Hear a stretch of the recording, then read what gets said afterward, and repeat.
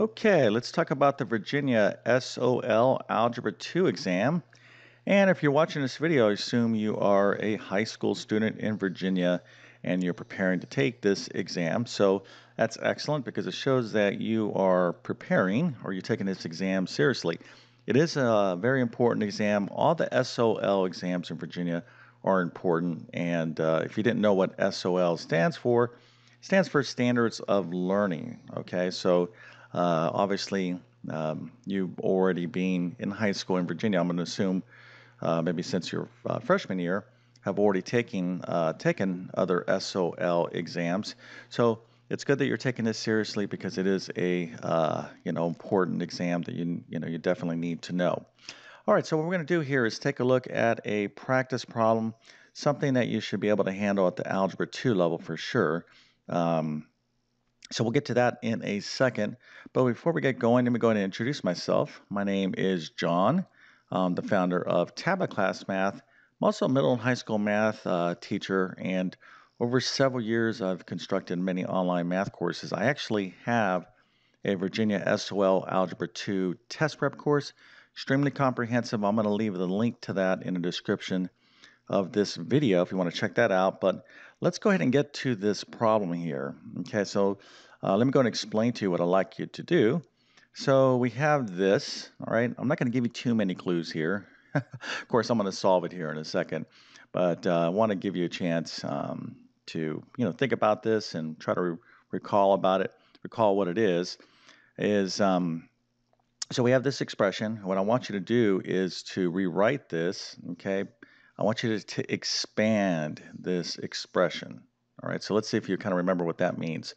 So I have this, I want you to expand it. I want you to rewrite it in another way, expanding it so it's going to, you know, uh, look, you know, bigger. It's going to be a bigger expression, if you will, uh, than what this is currently uh, in, okay? All right, so you maybe want to go and pause the video and give that a whirl. Okay, so now I'm going to give you a little bit more of a hint here if you're still struggling with it. So what do we have? Well, we have a logarithmic expression.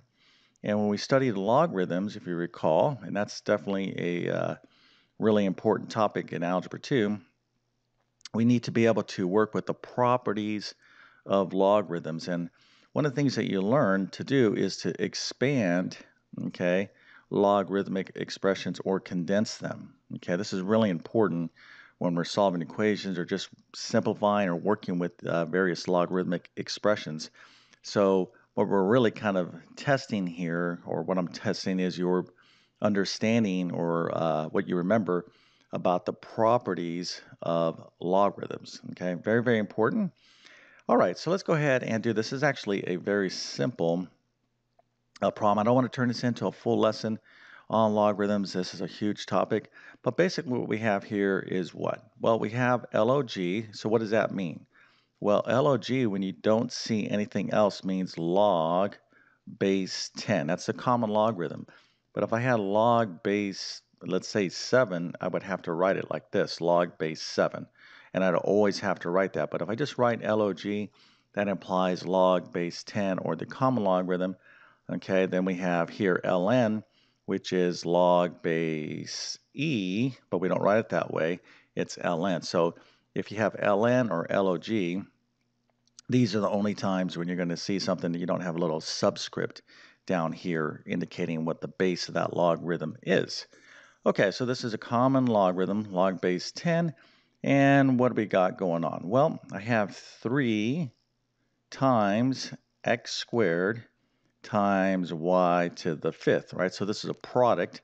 So here we have a uh, property of logarithms that uh, says that we can uh, separate each one of the factors in this product by uh, addition. So I can write this as log, uh, common log, log 3 plus log x squared plus log uh, y to the fifth power.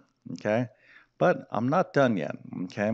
Here is nothing more I can do uh, at this stage. And log 3, you can actually evaluate this in your calculator, it's some number, okay?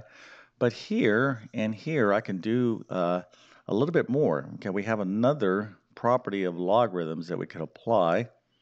All right, and it has to do with powers. So we're going to write this here, log base 3, write this over.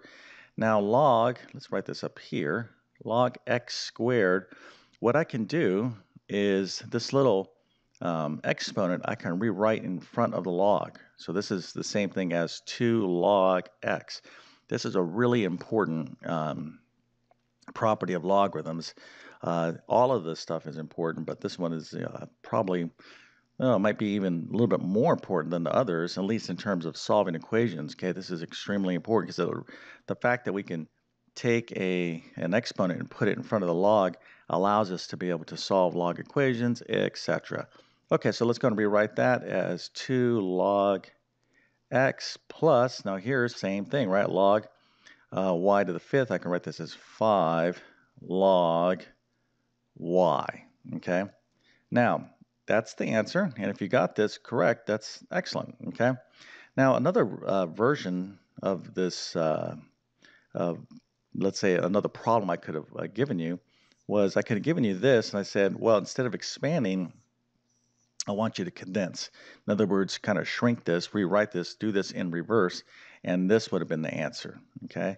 So if I'm condensing, I'm, I'm going to go from this expression back to the simplest form. If I'm expanding, I'm going to go from this expression to this. Okay, you need to know how to kind of do both, and depending on what you're trying to do in terms of a logarithmic problem, you know, an equation or, or whatever the case might be, okay, you're going to have to be able to uh, both expand and condense, and this is all, again, uh, applications of the properties of logarithms. Of course, a lot more um, that we could talk about with logs huge topic in Algebra 2, extremely important in mathematics. But um, anyways, hopefully you did pretty well. If you got this right, excellent. But by no means is, you know, that's an indicator that you're completely ready for this Algebra 2 exam. But if you didn't get this right, don't panic. Use this as feedback and, um, you know, go ahead and do what you have to do. Hopefully you have time before this exam to study. Okay, so uh, at the time of this video, I've been on YouTube for a good 12 years. I have hundreds and hundreds of math videos that can help you out with this uh, Algebra 2 exam. So hopefully you'll uh, consider subscribing to my channel. If you enjoyed the video, definitely appreciate a thumbs up and leave me some feedback. You know, what do you think of math so far? I mean, Algebra 2 is, um, you know, it's a pretty advanced concepts in there, just like what we just talked about, logarithms. So you know, uh, you know, you at this point, students are typically either enjoy math or they don't really like math. But even if you're one of those people that don't like math, it's important that you stick with it and still do well. Okay, because you're gonna, you know, especially if you have any plans for college, and if you think that, oh, I'm not going to go to college, I'm not going to do that, you never know. Okay, you might change your mind. All right, so you still want to learn as much math as you can. Now, um, Again, I'm going to leave a, a link to my uh, Virginia SOL Algebra 2 test prep course. Extremely comprehensive. Like, I think you'll be really impressed with it. But I always like to emphasize uh, to students is to make sure you listen to your teacher and fully maximize what they're recommending. Okay, what you're, you know, you always start with your teacher first.